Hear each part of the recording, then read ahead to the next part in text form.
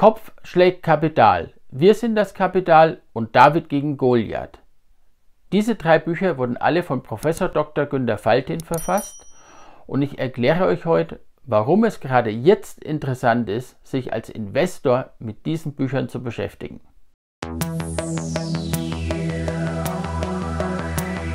Herzlich willkommen zu einem neuen Video von Finanzgeschichten.com. Mein Name ist Matthias Schmidt. Heute möchte ich euch drei Bücher von Professor Dr. Günter Faltin vorstellen. Professor Faltin lehrte Entrepreneurship an der FU Berlin. Auch wenn diese Bücher nichts direkt mit Investieren zu tun haben, möchte ich sie euch heute hier vorstellen. Und zwar, es hat zwei Gründe. Der erste ist meiner Meinung nach eine Art kreative Zerstörung, die im Moment durch die Corona-Krise ausgelöst wird. Und diese kreative Zerstörung hatten wir auch im Jahr 2008, 2009 ausgelöst durch die Finanzkrise. Wenn wir mal zurückblicken, dann ist in der Zeit das iPhone und das iPad entstanden und hat in Siegeszug angetreten. Die Social Media Plattformen haben in der Zeit danach zum Siegeszug angesetzt. Anfang 2009 wurde Bitcoin eingeführt. Die B2B-Kreditplattformen haben ihren Siegeszug begonnen und Last but not least haben wir zum Beispiel in Deutschland einen Immobilienboom gestartet, der dann über zehn Jahre ging. Und ich denke, dass auch nach der Corona-Krise neue Trends gesetzt werden, die über ein Jahrzehnt hin anhalten, die auch dem Wirtschaftsleben und dem gesellschaftlichen Leben eine neue Richtung geben werden. Und genau deshalb halte ich es interessant, sich jetzt mit so Themen wie Entrepreneurship zu beschäftigen um vielleicht auch Impulse und neue Ideen zu bekommen. Es gibt auch noch einen zweiten Grund, warum ich diese Bücher hier vorstellen möchte. Häufig wird er kritisiert, mit Sparplänen von 50, 100 oder 200 Euro im Monat schaffte es nie, ein großes Vermögen irgendwann aufzubauen. Schauen wir uns das Ganze mal zum besseren Verständnis als eine Grafik an. Und zwar einerseits analysieren wir erstmal den Ist-Zustand. In unserem Beispiel sagen wir, es ist ein Vermögen von 10.000 Euro vorhanden beim Anleger es ist eine monatliche Sparrate von 200 Euro da und sein Ziel ist es, in 20 Jahren Millionär zu werden.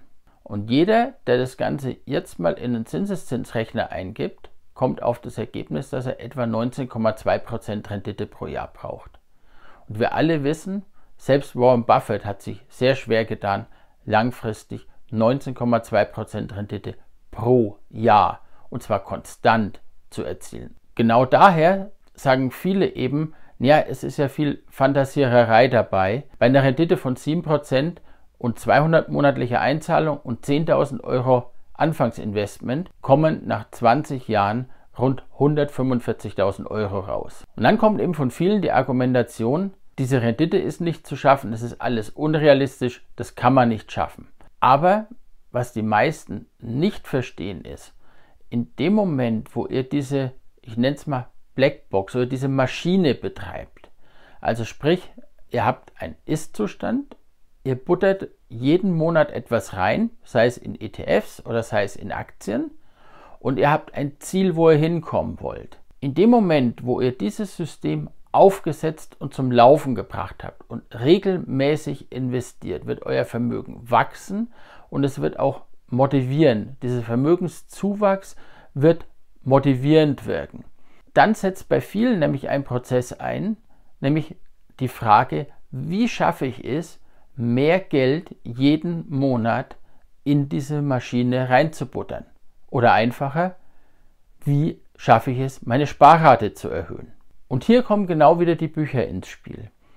Nämlich sie zeigen, wie es ganz einfach möglich ist heute, ohne großes Kapital, nur mit Ideen mit etwas Zeit, mit Engagement und mit Leidenschaft ein kleines Unternehmen oder ein kleines Projekt hochzuziehen und hierüber zusätzliches Kapital zu generieren, das ihr Monat für Monat in eure Investments reinstecken könnt.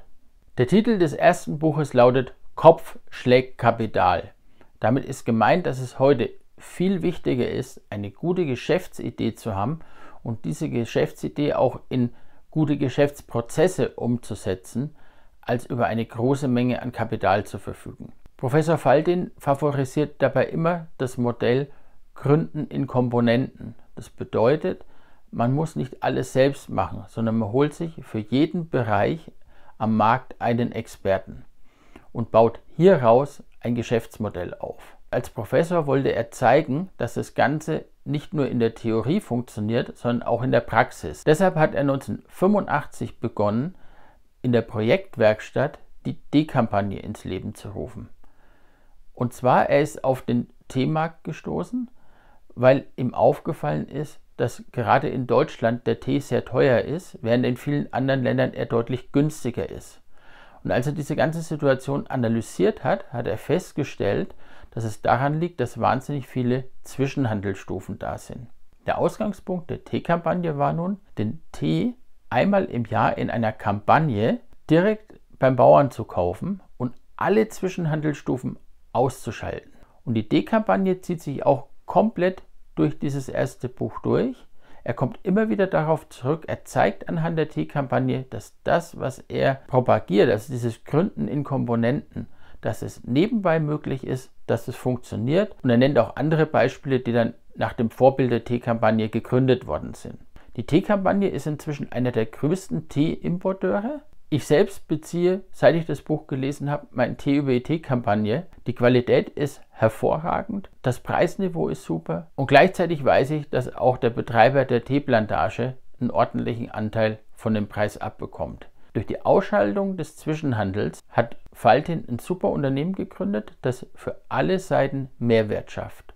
Und das ist auch so dieser Gedanke dabei. Wie kann ich mit intelligenten Unternehmensprozessen Mehrwert für alle schaffen. Kopfschlägt Kapital habe ich seinerzeit als Hörbuch angehört. Wenn ihr noch kein Abo bei Audible habt, dann könnt ihr das Ganze dort kostenfrei anhören. Ich verlinke euch das Ganze unten in den Beschreibungen. Kommen wir nun zum zweiten Buch. Wir sind das Kapital.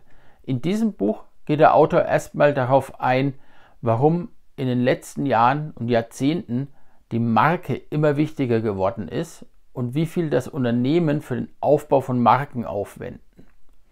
Im zweiten Teil zeigt er dann, wie Innovation von unten gelingt, wie ihr also gegen diese große Marke einfach mit Qualität, mit Ideen ankommen könnt. Und besonders interessant fand ich auf Seite 123 eine Grafik, die dann im dritten Kapitel im sogenannten Entrepreneurial Design kommt. Ich blende euch hier mal die Bausteine des Entrepreneurial Designs ein. Wichtig ist, dass eure Aktivität, eure Idee stimmig zu euch selbst, zu eurer Person sein müsst. Ihr müsst euch mit diesem Angebot wohlfühlen. Ihr müsst es ehrlich leben. Dann ergibt das Ganze auch Sinn und dann habt ihr überhaupt eine Chance, damit erfolgreich zu sein. Das Ganze muss eine Balance aus ökonomischem, ökologischem und sozialem Denken sein. Und das Ganze geht dann ein in eine Art künstlerischer Prozess, nennt er das Entrepreneurial Design. Und am Ende muss das Ganze auch stimmig zum Markt sein. Und diesen Prozess von stimmig zu eurer Person bis hin zu stimmig zum Markt, den müsst ihr immer wieder mit der Idee durchlaufen. Und wenn ihr an einem Punkt mit der Idee scheitert, müsst ihr die Idee wieder anpassen, neu kombinieren, neu analysieren. Und so kommt ihr am Ende zu einem Geschäftskonzept, das im Prinzip zu euch passt und für das es auch tatsächlich einen Markt gibt und damit generiert ihr für alle einen Mehrwert und damit ist die Wahrscheinlichkeit auch sehr hoch, dass ihr mit diesem Geschäftskonzept erfolgreich seid. Kopfschläg Kapital bekommt ihr bei Amazon als E-Book, als Kindle-Version bereits für 4,99 Euro. Ich verlinke euch das Ganze unten in der Beschreibung. Kommen wir nun zum dritten Buch. David gegen Goliath. Das Buch ist 2019 erschienen. Es ist eine komplett überarbeitete und erweiterte Neuauflage von Kopfschlägkapital. Und ich finde, er hat in dem Buch noch einen viel stärkeren Fokus auf die ökologische Seite gelegt. Und ich glaube, gerade deshalb kann dieses Buch im Moment sehr interessant sein, denn im Zuge der Corona-Krise und den ganzen kreativen Zerstörungen, die stattfinden, könnte bei vielen Innovationen auch der ökologische Aspekt deutlich im Vordergrund stehen. Und ich kenne bereits einige, die in den letzten Jahren in diesem Bereich Unternehmen aufgebaut haben und sehr erfolgreich waren mit dem Fokus auf den ökologischen Aspekt. In dem Buch zeigt Faltin nochmal deutlich auf, wie es bereits sehr einfach, beginnend mit einer einfachen Sammelbestellung für sich, für Freunde, wie es sehr einfach möglich ist, Ideen auszuprobieren, sich langsam an das Thema ranzuwagen, ohne dass man gleich ein Unternehmen gründen muss. Die Bücher sind, finde ich, sehr interessant, sehr kurzweilig geschrieben. Ich habe sie sehr gern gelesen und ich denke, dass gerade in der jetzigen Zeit des Umbruchs diese Bücher eine wahre Quelle der Inspiration sein können. Falls ihr die Bücher schon gelesen habt, kommentiert doch mal, wie ihr sie findet, ob ihr bereits für euch, für euer Leben, für euer Unternehmertum, für eure Anlageentscheidungen Ideen daraus gewinnen konntet.